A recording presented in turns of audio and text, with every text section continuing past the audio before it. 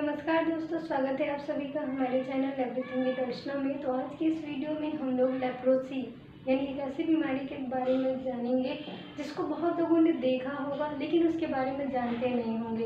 अगर इसे हिंदी में समझे तो एक कुष्ठ रोग है। कुष्ठ रोग, जिससे कि बहुत ज़्यादा लोग दूरी बनाकर रखते हैं।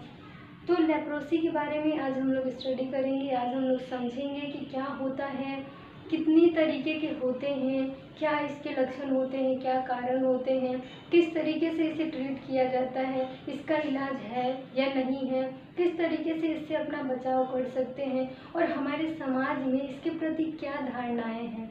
ठीक है तो ये सभी बातों को हम लोग इस वीडियो में समझेंगे। तो लेप्रोसी यानी कि कुष्ठ रोग मेनली ये हमारे स्किन और हमारे नर्व्स की डिज़ीज़ है। यानी स्किन में क्या लेजन्स हो जाते हैं, स्किन लेजन्स, नर्व जो होते हैं वो ठीक हो जाते हैं। यानी कि ऐसे ऐसे बुंदा बुंदा घाव सा हो जाता है, पूरा सड़ने लगता है वो हिस्सा। इसका दूसरा नाम लेप्रोसी का हैंसिन्स डिज़ीज़ है, जो कि इसके डिस्कवरर के नाम पे है। जिन्होंने इसका खोज किया था, उनका नाम है जी ए हैंसन जिन्होंने 1870 सॉरी 1973 में इसे खोजा था। ठीक है? जिन्होंने इसे कब खोजा था? 1973 में जी हैंसन ने। एज किस एज ग्रुप को ये ज़्यादा अफेक्ट करता है? तो सेकेंड और थर्ड डिकेड को। 20 से 30 साल वाले जो भी एज में हैं 20 से 30 की उम्र में जो है, उनको ये ज़्यादा अफेक्ट करेगा। ये कैसी डिज़ीज़ है? तो क्रॉनिक है। लंबे समय तक चलेगी। क्यूरेबल है। इसका इलाज है। अगर हम लोग प्रॉपर मेडिसिन लें तो इसे ठीक कर सकते हैं। ये कैसा है? क्यूरेबल क्रॉनिक इन्फेक्शियस डिज़ीज़ है ठीक हो सकता है। इन्फेक्शन तो है, तभी तो ये पूरा फैल रहा है। कम्युनिकेबल डिज़ीज़ है, यानी कि एक पर्सन से दूसरे पर्सन में फैलेगी। किससे? तो डायरेक्टली कांटेक्ट में आएँगे तो वो फैलेगी। जैसे यहाँ हाथ में हो रखा है और अगर हम आके उस हाथ से अगर कांटेक्ट में आते हैं तो ये बीमारी फैलेगी। क्या कारण है? तो माइकोबैक्टीरियम, लेप्रा नामक बैक्टीरिया इस बीमारी का कारण है। ये जो बैक्टीरिया है, वो लेप्रोसी कॉज करती है। किस तरीके के लोगों को होगी? जो गाँव में रह रहे हैं, गरीबी में रह रहे हैं, उनका रहन सहन खान पान अलग होता है तो उनको ये बीमारी ज़्यादा अफेक्ट करती है। लॉन्ग इंक्यूबेशन पीरियड यानी कि ये बैक्टीरिया जब हमारी बॉडी में एंटर करती है, उसके बहुत दिनों बाद लक्षण आएँगे और ये बीमारी फैलेगी, ये बीमारी बढ़ेगी। ज़्यादातर केस जो है 80 परसेंट केसेज जो हैं, वो इंडिया में, नेपाल में, म्यांमार में है। कहाँ हैं? तो 80 परसेंट केसेज जो हैं, हमारे भारत में, नेपाल में और म्यांमार में हैं। तो ये कुछ लेप्रोसी से जुड़ी जानकारी है। अब हम लोग आगे क्या समझेंगे कि क्या कारण है, वो समझ लिए। अब क्या जांचें हैं, क्या लक्षण हैं, क्या इलाज है, किस तरीके से अपना बचाव कर सकते हैं किन किन दवाइयों के सेवन से हम इसका जो है इस बीमारी से अपना बचाव कर सकते हैं। अब हम लोग समझेंगे कि लेप्रोसी का लक्षण क्या है। यानी अगर किसी को कुष्ठ रोग हुआ रहेगा तो कौन कौन सी लक्षण उनके शरीर में दिखेंगी? तो सबसे पहले है कि स्किन लीजन्स यानी कि अगर किसी के हाथ में हो रखा है तो ऐसे ऐसे ऐसे ऐसे छोटे छोटे दाने होंगे। उसमें मवाद भी हो सकता है, वो बड़ा बड़े भी हो सकते हैं छोटे छोटे भी हो सकते हैं, पूरे हाथ को उस टाइम में वो सड़ा सकते हैं। नर्व डैमेज इसमें मेनली क्या होता है कि हमारे अंदर जो नर्व्स होते हैं, वो डैमेज हो रहे होते हैं, ठीक है? इनलार्ज नर्व नर्व जो होता है, वो मोटा हो रहा होता है। इनलार्जमेंट हो रहा होता है नर्व का, ठीक हो जाता है नर्व लॉस ऑफ़ सेंसेशन हाथ में हो रहा है तो हाथ में कोई सेंसेशन कुछ फील ही नहीं होगा। ना दर्द महसूस होगा, ना ही चोट महसूस होगा, ना ही मूवमेंट महसूस होगा।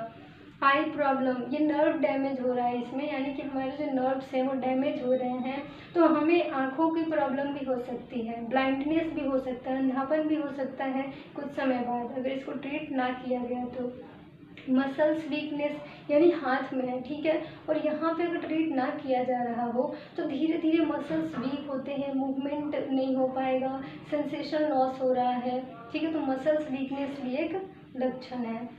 डायग्नोसिस किस तरह की जांचें हम लोग करवा सकते हैं लेप्रोसी को कंफर्म करने के लिए? तो पहला है पॉजिटिव स्किन स्मीयर टेस्ट दूसरा है नज़र स्मीयर तीसरा है लेप्रोमीन टेस्ट इन तीनों टेस्ट के थ्रू हम लोग लेप्रोसी यानी कुष्ठ रोग को जान सकते हैं। ये सभी जांचें हैं, ठीक है? कुष्ठ रोग को कंफर्म करने के लिए।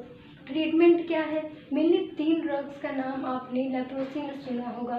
पहला है डेप्सोन दूसरा रिफेंटसिन चौथा सॉरी तीसरा है हमारा क्लोफाजीमीन ठीक है? तो क्लोफाजीमीन जो है, इसके कुछ साइड इफ़ेक्ट्स होते हैं, जिसमें स्किन जो है वो डार्क होने लगेगा। रिफेम्पेसिन में क्या है? रिफेम्पेसिन में भी इसके भी कॉम्प्लिकेशन है कि रेडनेस होने लगता है स्किन में, लालपन सा होने लगेगा। तो ये सारे कुछ साइड इफ़ेक्ट्स हैं, लेकिन ये तीनों दवाइयाँ जो है बहुत ही बेस्ट हैं लेप्रोसी को ट्रीट करने के लिए। अब हम लोग आगे कुछ पॉइंट को समझेंगे, जिसमें कि हमारा है कि क्या बचाव कर सकते हैं, किस तरीके से इस बीमारी से अपना बचाव कर सकते हैं, क्या कॉम्प्लिकेशंस हो सकती हैं अगर लेप्रोसी को ट्रीट ना किया गया तो। अब हमारे नेक्स्ट है कि लेप्रोसी को अगर ट्रीट ना किया गया तो किस तरह की कॉम्प्लिकेशंस हो सकती हैं? आगे चल के किन तरह की परेशानियों का सामना आपको करना पड़ेगा? पहला है लेप्रा रिएक्शन यानी कि आपके शरीर में रिएक्शन हो सकता है। डिफॉर्मिटीज़ यानी हाथ में हुआ है तो हाथ जो है अच्छे से काम नहीं करेगा, वो अपंग हो जाएगा, यानी अपंगता हो सकती है। यानी कि क्या है कि अगर पैर में हो रहा है तो आप जो है लंगड़े हो सकते हैं। तो बहुत सारे तरह की दिक्कतें हो सकती हैं तो उसमें अपंगता हो सकता है रिएक्शन हो सकता है लेप्रा रिएक्शन आपके शरीर में। ब्लाइंडनेस आई की प्रॉब्लम हो रही है, आँखों की प्रॉब्लम हो रही है तो अंधापन हो सकता है, अंधापन हो जाएगा, दिखेगा नहीं कोई चीज़। हेयर लॉस बाल झड़ने लगेंगे। जिस एरिया में हो रहा है वहाँ का तो हेयर लॉस होगा ही प्लस में हमारे सिर का भी बाल झड़ने लगेगा।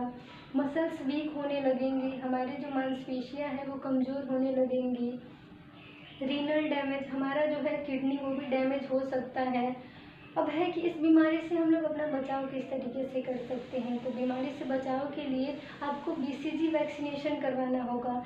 हम लोग जैसा जानते हैं कि लेप्रोसी तीन तरह के होते हैं। तीन टाइप है पहला है ट्यूबरक्यूलॉइड, दूसरा है लेप्रोमेटस और तीसरा है बॉर्डर लाइन तो तीन टाइप हैं लेप्रोसी के।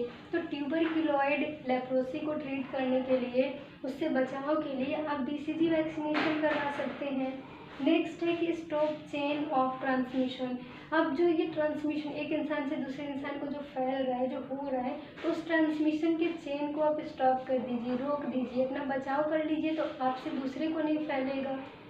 तीसरा है अर्ली डिटेक्शन एंड ट्रीटमेंट जितना जल्दी आप पता लगा रहे हैं कि किसी को लेप्रोसी हो रखा है या फिर किसी को ये बीमारी हो गया, ठीक है? और जितना जल्दी पता लगाएँगे और जितना जल्दी ट्रीटमेंट करेंगे, उतना अच्छा है। नेक्स्ट है कि प्रॉपर ट्रीटमेंट जितनी दवाइयाँ दी गई हैं, जिस तरह की ट्रीटमेंट आपको बताई गई है, वो पूरा लीजिए। यानी कि आधा ले रहे हैं, आराम हो गया, फिर छोड़ दिए तो फिर से हो जाएगा और दूसरे को भी अफेक्ट करेगा तो आप प्रॉपर ट्रीटमेंट लीजिए। नेक्स्ट है सोशल स्टिग्मा समाज में किस तरीके से जागरूकता ला सकते हैं? तो मास मीडिया आजकल इतना इंटरनेट इतना ही फ़ोन सब लोग चला रहे हैं। डिजिटल इंडिया हो चुका है। तो आप लोगों को जागरूक करिए। कुछ ऐसे ऐसे कोर्स वगैरह भेज के लोगों को जागरूक करिए कि ऐसी बीमारी नहीं है कि जिसका बचाव नहीं है, जिसका इलाज नहीं है। आप अपना बचाव करते हुए जिसको हुआ है, उसको ऐसा फील ना कराइए। उसको डिप्रेशन में मत लेकर जाइए। ठीक है? ऐसा ट्रीट ना करिए कि वो और बीमार हो जाए। तो बीमारी से बचिए, बीमार व्यक्ति से नहीं दूरी बनाइए। ठीक है, बीमारी से अपना बचाव करिए। तो आप क्या है कि सोशल मीडिया के थ्रू जागरूकता ला सकते हैं, लोगों को अवेयर कर सकते हैं। हेल्थ एजुकेशन एंड ट्रेनिंग लोगों को स्वास्थ्य के प्रति, इन बीमारियों के प्रति जागरूक करिए, उनको ट्रेनिंग दीजिए एजुकेशन दीजिए कि किस तरह की, किस तरीके से वो उन लोगों को बचा सकते हैं, किस तरीके से वो अपना बचाव कर सकते हैं। तो ये हमारा लेप्रोसी है, कुष्ठ रोग है, जिसके बारे में सभी ने सुना होगा बहुत ज़्यादा डरते होंगे, लेकिन डरने की ज़रूरत नहीं है। हमेशा एक बात याद रखिए कि बीमार व्यक्ति से दूरी मत बनाइए, बीमारी से बचिए, बीमारी से दूरी बनाइए। व्यक्ति तो अब पीड़ित है ही तो उसे और ज़्यादा ही पीड़ा ना दीजिए। तो ये हमारी जो है, एक छोटा सा टॉपिक है लेप्रोसी जिसके बारे में जो बेसिक जानकारी है, जो इम्पोर्टेंट है, वो हमने इस वीडियो में डिस्कसन कर लिया है। अगर आपको इसकी और डिटेल वीडियो चाहिए तो आप कमेंट सेक्शन में कमेंट करिए। And thank you for watching my video अगर आप चैनल पर नए हैं तो चैनल को सब्सक्राइब कर दीजिए, और बेल आइकन को प्रेस कर दीजिए, ताकि आपको सारी लेटेस्ट वीडियो के अपडेट्स मिलती रहें। और मिलते हैं नेक्स्ट वीडियो में नेक्स्ट टॉपिक एक नए टॉपिक के साथ। तो थैंक यू एंड बाय